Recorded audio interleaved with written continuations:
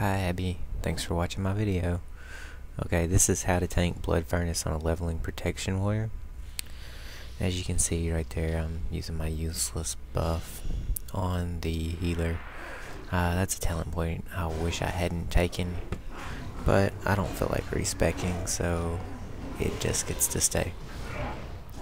Um, right here, I'm just gonna AoE tank most of this stuff. At the start of the run, normally I just like to test out the healer, see how many mobs I can take, because um, this is the first time running with this healer, who actually turns out to be a pretty good healer. Um, trash mobs in this place aren't really any difficult. There are some casters, but as long as you can get them in thunderclap range, you're pretty good. Now this run, in this video that I'm actually showing, I'm going to show the full run at full speed and just to see how that works, see how everyone likes just seeing the full run at normal speed. It's going to be a little bit longer of a video. I'm not sure how that's going to work in the future. But for this video, I thought I'd just do the entire run. Now right here I see that my healer is running up the stairs. So I just decide I'm just going to leave the DPS to take them down, to come up here and to catch the stealth mobs that are going to attack the healer. Now, this guy, he keeps running up the stairs, and this lets me know that, yeah, this guy's going to be a pretty good healer because he wants to move fast. He keeps pushing it up the stairs so that we can go faster and pull mobs faster. Now, at the top of the stairs right there, I just ran up to the top and then uh, used a demo shout to try to pull everyone out of stealth. I'm not sure if it works or not, but I just wanted to aggro them to me before they aggro to the healer. That I thought was going to pull everyone in the room, but turns out it only pulls the one guy. So I had to line aside him because he was a caster. Um, thunderclap to get aggro on him, and then just tank him like a normal mob once he gets into melee range. Right here I thought I was going to be able to get one group, but, I mean, that never works out. So just always be ready to pick up adds. And right there, our shaman is actually chain lightning people. Did not even see that. So I decided just to get every mob in the room and just tank them all at once. Instead of trying to fight them in groups.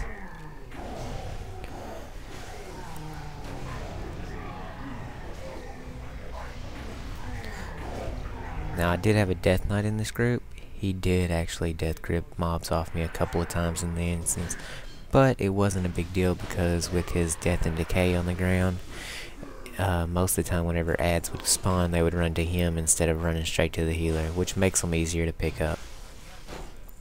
Right there, he just death gripped that mob off me, so I decided to just let him have it. And if he wants to pull one off me, he can tank it. That's fine. He's wearing plate and as long as it's not aggroing to the healer, it's fine with me if he wants to tank one. This room right here, this is a little bit of a pain because of just the amount of adds that you're going to get in this room. Um, right here, the healer runs up here, and I thought he was going to try to pull some more because he has been pulling some mobs. So I just went ahead and charged the rest of the room. Go ahead and get everything. Try to tank it all at once. This, uh, this healer's doing really well, so tanking all of the room at once is no big deal for him. He can keep me alive through it, so why not try to speed up the run a little bit.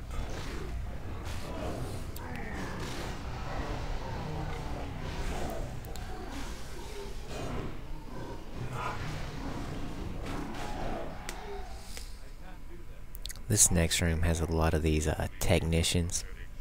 The one thing I can say about the technicians is if you have a lot of melee in your group, you're going to want to try to only pull one or two technicians at a time because they're going to put the mines on the ground. And when they do, those mines are going to blow up. And it's a big AoE damage that's going to hit a lot of the melee in your group. It's going to do a lot of damage to everyone in the group. This group had a feral druid, a mage, and a DK for uh, the DPS, so we did have three people standing in melee range of those mines. And that's a lot of damage that the healer's going to have to heal through if you get more than one or two at a time. So just take that in mind of if you're the only melee then it shouldn't matter all the heals are going to be on you anyway but if you have a group of all melee DPS then you may want to just take it easy on pulling more than one group of the technicians and there was another death grip off of me which um, yeah it's kind of a pain but I've basically just started if they want to death grip something away from me they can have them this is the first boss, and he's really no big deal. He does an AoE spray, so turn him away from the group, but he drops so fast with some decent DPS that he's nothing to worry about. And there are some plate gloves that drop off of him, and I actually picked those up for an upgrade because they will be better than what I'm using after I put some gems in them. I'm not sure if I'm going to put gems in them or not but I go ahead and put them on. And this up here is, there are some stealth mobs down through here. There's one right there that just aggro to the back of the group. As you can see, the Death Decay pulled him to the Death Knight, where my Thunderclap and Cleave was easily, he was easily to pick up.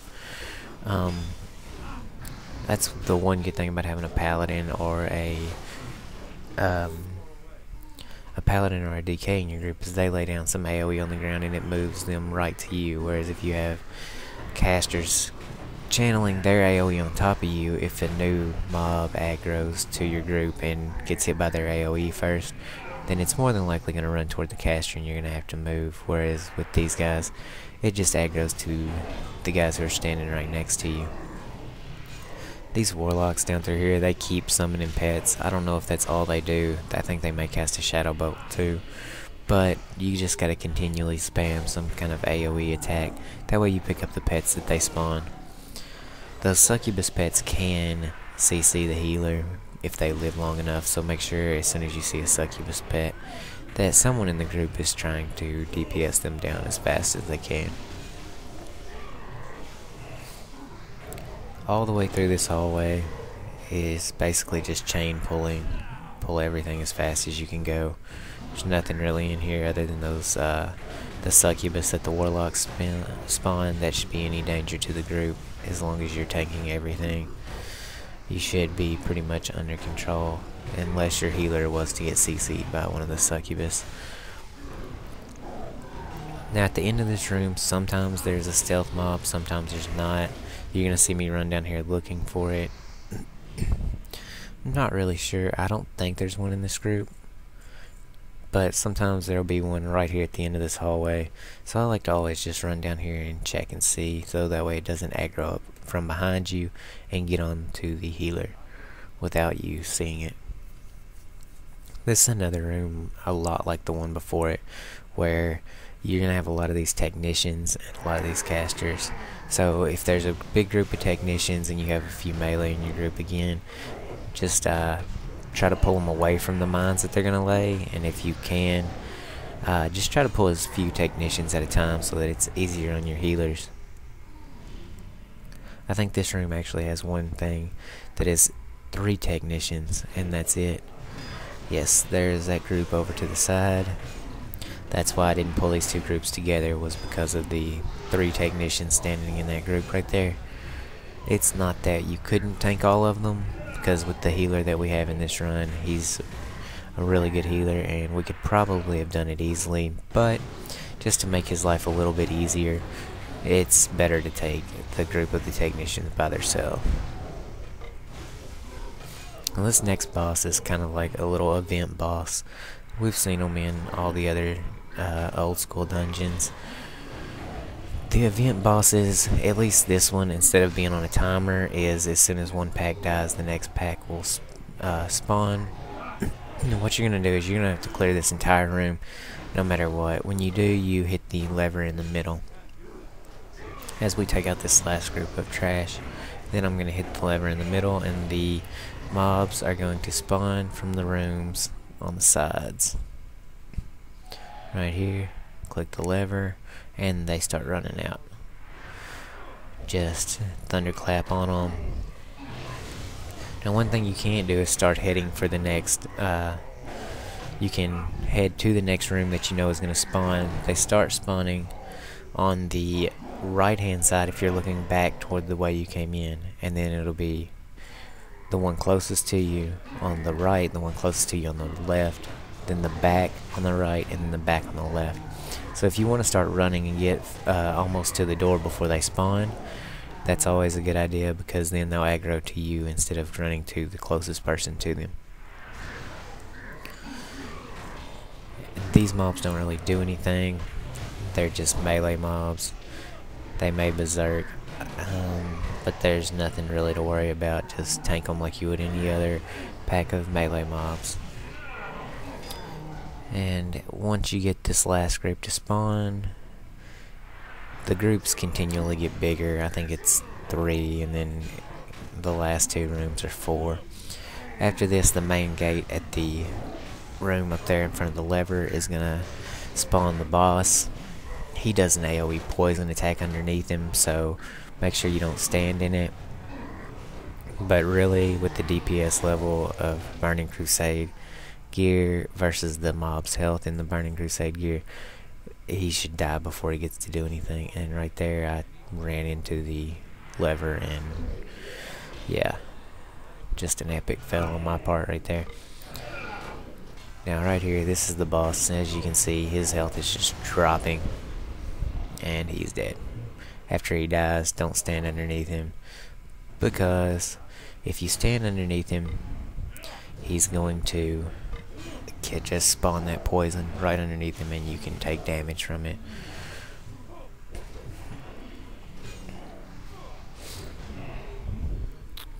Um, this next room, I like to go to the left just because to the left there's more trash, but you can actually see all of it.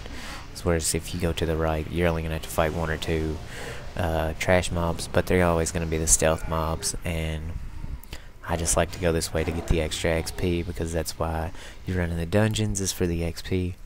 I've never quite understood why people who go into dungeons just try to run them as fast as they can at lower levels, because really you're just there for the XP, so why not kill everything while you're there? Right here our shaman runs up and actually pulls these other two, so I take that as a sign of maybe the run's not going fast enough for him, so we should speed it up. So I'm going to start just chain pulling again and see if we can't get this run going a little bit faster. The one thing about this uh, dungeon is that it's very hard to chain pull here because the mobs are really spread out. It's not like the uh, vanilla WoW dungeons where mobs are really close together almost all the time. Um, they do spread them out a lot more in this dungeon, so it's kind of hard to tank everything and just chain pull. That pull right there, because the imps are caster mobs, is a little bit difficult to aggro all of them. What I like to do is just run to the right, thunderclap, and go back to the left and try to pick up the other ones with the demo shout. And as long as you have most of them on you, you should be able to take them down. These mobs are kind of a pain because they do do a charge and randomly charge anyone in the group no matter who they have aggro on. Um, if that couple of them, if you try to tank them as all um, one big group, if you try to tank this room all up by itself, um, you're going to run into a problem where these guys could chain stun your healer and you could actually die because they're just chain stunning your healer. Right here, I do believe our healer is going to be able to handle it, so I just go ahead and aggro everything in the room. They can be a little bit difficult to tank because of the random charge. Um, just go ahead and pick up this caster. And as you can see, they can be rooted, but they do charge out of roots, so if you have a mage or someone, you can try to Frost Nova and hold them all close to you. But it's not a big deal. You shouldn't be worried too much about anything other than them just randomly stunning your healer and as long as your healer's competent you should be fine. This is the last boss. What you're going to want to do is just run up here and hit one of these guys. That's going to aggro all the ones that are channeling to him. Um, after these guys drop, the main one in the middle is going to come at you. He's the boss. Um, basically, what he's going to do is halfway through the fight, he'll stop and he'll channel a spell. You want to run back because that's going to be big damage. Um, he doesn't actually get to do this in this run because our DPS just puts him down way too fast and But if he does start channeling something in your runs, just step back, run away from him, and then charge back in after it's done. And that's about it.